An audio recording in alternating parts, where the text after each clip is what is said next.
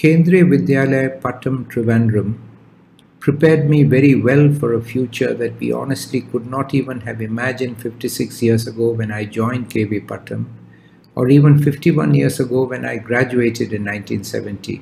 A future in which questioning rather than knowing lots of answers would become the ultimate skill. And our most important challenge would be, in the words of Peter Drucker, not to find the right answers but to find the right questions.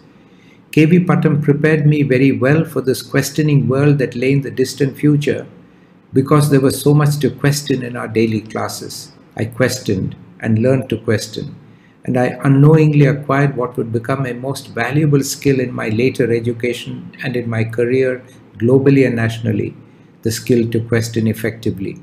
I am very proud that KV Pattom continues its unrivaled academic excellence to this day under the current principal, Mr. Ajay Kumar.